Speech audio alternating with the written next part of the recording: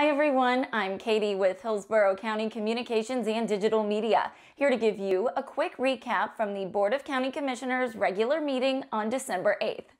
Commissioners and state lawmakers honored members of Florida Urban Search and Rescue Task Force 3 for their heroic search and rescue efforts after the Champlain Towers collapse in Surfside, Florida this past June. Task Force 3 members worked around the clock using every resource available to clear debris and search for survivors. They left their families without knowing when they'd return, braved fires in the rubble below, storms above, and triple digit temperatures with all their gear on, to tunnel and dig by hand to minimize disturbances to the rubble that was at constant risk of collapse under their feet and above their heads.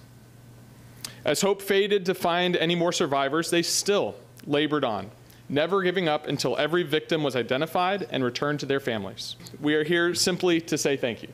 The board declared December 8, 2021 as Florida Urban Search and Rescue Task Force 3 Day and sincerely thanked the first responders for their selfless and dedicated service. During Wednesday's meeting, the BOCC approved a license agreement with the Crisis Center of Tampa Bay for a new location within the South Shore Community Resource Center in Ruskin that will provide South County citizens closer access to crisis intervention services 24 7 365 days a year. The board approved an agreement between the county and the Community Foundation of Tampa Bay to administer the American Rescue Plan nonprofit safety net program that will disperse up to $5 million to eligible nonprofits that were impacted by the pandemic. The BOCC awarded an agreement for construction of phase one of the Waterset Sports Complex in South County. The work will include all labor and materials along with construction of two multi-purpose synthetic turf fields, access drives, parking, storm drainage, sidewalks, lighting, and all necessary utilities. Commissioners voted to expand the eligibility requirements and services offered through the Hillsborough County Healthcare Plan, which provides healthcare benefits to the most vulnerable residents. Starting January 1st, those at or below 175% of the federal poverty level will be eligible for the plan. In addition, dental services have been added as a covered benefit.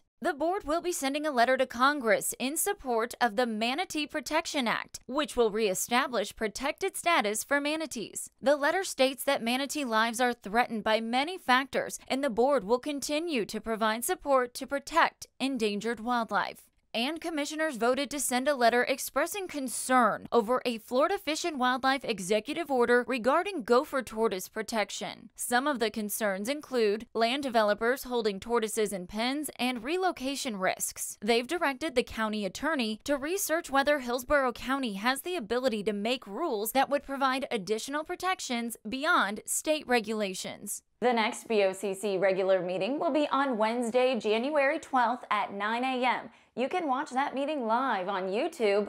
Just search for Hillsborough County Meetings. And for more information on Hillsborough County services and programs, visit hcflgov.net.